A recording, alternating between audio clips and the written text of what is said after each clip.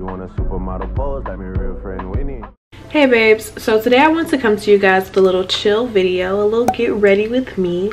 If you're new here, hello. If you're a returning subscriber, welcome back babe. Sorry I've been a little MIA, but as you can see, I'm coming with the content for 2020. So you guys really liked my last makeup tutorial where I kind of showed you my soft glam, you know, look. And I guess I wanted to come to you and show you a quicker, more everyday version of that. Something that I wear a lot more often.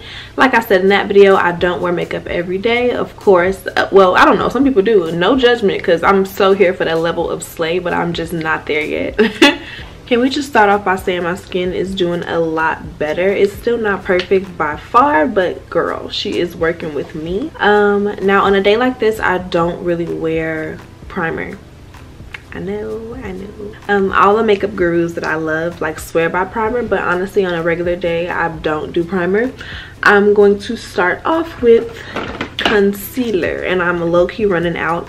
Um, this is the Tarte, I'm Tarte, what? Um, this is the Too Faced concealer, the multi-sculpt concealer and I'm using the color Warm Sand. I'm just gonna put this under my eyes, little chin, little on the forehead. This whole situation right here because around my mouth it gets really dark. I look crazy. And then I'll hit a couple of spots. I have like dark marks mixed with, mixed with freckles. It's all type of just girl but I kind of just roll with it I'm not really trying to cover up everything I just want to get more of like an even tone so first I blend out everything on my face. I like to let my concealer under my eyes sit for a second. Oh, for this entire look pretty much, I'm using the sculpting brush from Real Techniques. I love this brush. I've had this brush for years. I bought it as a part of a trio um, and I'm obsessed with Real Techniques brushes. I really need to get some more. But I'm to just use this and just pouncing in one place. I really want to get a lot of coverage in this area. And I'm just taking whatever is left and blurring out those edges. So this concealer isn't too much lighter than my skin tone, but everything's gonna get blended out in the end, I swear. Like it's gonna all make sense. When I'm doing this, it honestly takes me about like, I would say like realistically like 15 minutes. Next I'm going in with my Maybelline Fit Me powder. This is in the color light medium and lightly setting under my eyes. I have really oily skin and I use lots of moisturizer and I use a really thick moisturizer so that's pretty much my primer. So my normal skin is hella oily. And yeah so i need powder. On my everyday routine i focus a lot more on powder than i do on like the cream. The only cream i use is my concealer. There's no foundation. I don't cream contour. Like everything is pretty much powder after that. So this second powder is that same Maybelline Fit Me powder, but this shade is deep and it is really pretty. I love the shade. Then I'm gonna set my face. And you see this powder brings me a lot of color back to my face since my concealer is kind of light.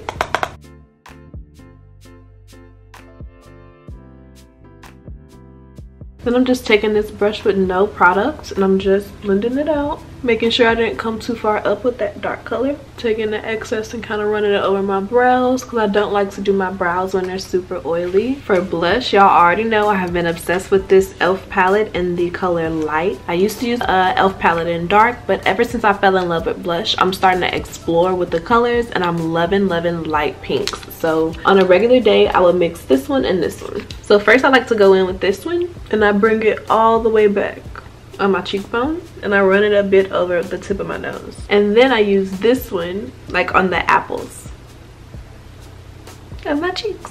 And I blend them back a little bit and run it more over my nose. And I just think it looks so cute. And y'all know I love me some Doja Cat. So she did like a Vogue tutorial and she did the same thing.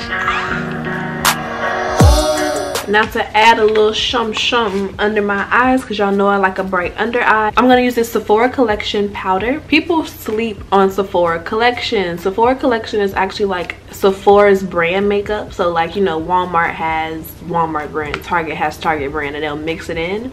The Sephora Collection girl. I actually got put onto this powder by Alissa Ashley but when i went they didn't have the micro smooth so i ended up getting this matte perfection powder foundation. And I use the color Sable. really light. And I'm just gonna pop this right under my eye and blend it down into the blush because sometimes I get a little carried away. And it just adds a little bit of brightness and also a little more coverage because it is a powder foundation. For bronzer, y'all gonna be so proud of me because I'm finally stepping away from my It's My Ray Ray palette. I know, I know. It's the NYX matte bronzer in dark tan and I'm still using my curve down bronzer technique so I'm not just doing the back I'm doing the back and bringing it down right here with a little fluffy crease brush this one is from Luxie. It is the 249 brush from Luxie. I'm gonna run a little bit of this blush on my eyelid and in my crease as well just for a little warmth for brows, I'm going to use this Ultra Slim Brow Pencil from Maybelline. I used to be really into pomades, but I don't know. These micro brow pencils that just are like retractable are perfect because you don't have to clean your brush when it gets all like gunky and thick. It's just perfect little hair strokes every time. I'm obsessed. So I focus more on the tail where it's a bit sparse. I really try not to go too crazy. Then I just brush it out. And I mean, that still looks pretty natural to me. I don't know. Now, this is my treble brow because I have like this little gap in it.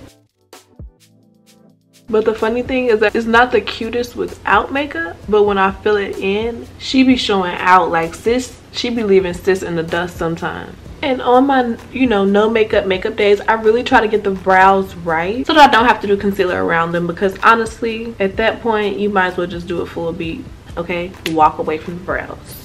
There is nothing more you can do for them. You have done your best. For lips i'm gonna just use the sephora collection gloss. This is in karma. They sent this for me. I worked with them this year i believe on an instagram campaign and they sent me this gloss and i'm obsessed with it. I actually have a few more of their products that i really really like. So if you guys would be interested in seeing like a full sephora collection look let me know. I already know i'm gonna do a full fenty beauty look because i plan on buying so much fenty beauty makeup in 2020 i was just waiting to run out of a few things because i literally had like a lot of foundations a lot of concealers and all they dropped was like complexion products and i'm like damn.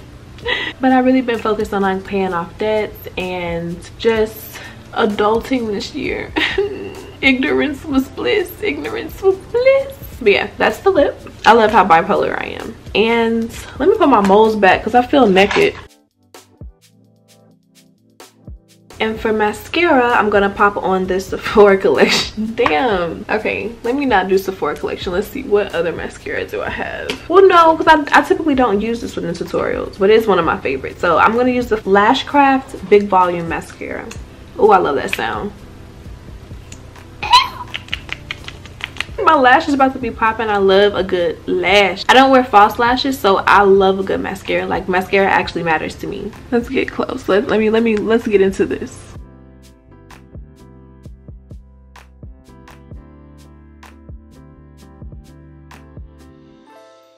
All right. Got the first coat.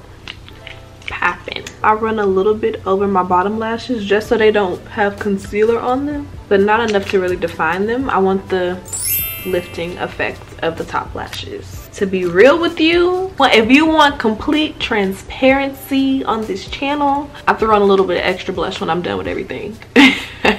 Hi my name is winnie and i'm addicted to blush. Y'all supposed to say hi winnie. Did you say hi winnie? Rude and insensitive. It's 2019 get it together I look like Winnie Lou Who at this point. And if I'm being completely transparent as well, I'm still gonna cut this cheek. I do not care.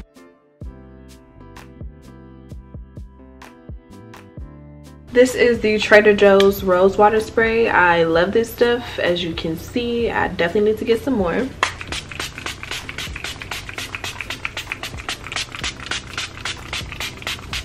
Drown. You want to drown. So this is the final look. It's very mauve and pink. I really love this look and i guess maybe i was more inspired by like my jewelry and what i'm wearing or whatever I hope that you guys enjoyed this everyday makeup tutorial. I hope that you found some little tips and tricks that you want to use in your routine. If so, definitely comment down below and let me know. Or comment down below and let me know some tips and tricks that you have for me. You're my friends in my head, even though sometimes I feel like I'm talking to myself because I kind of am. It's whatever. So comment down below so we can talk to each other. And if you haven't seen my last makeup tutorial then definitely check that out because it's a banger. Okay?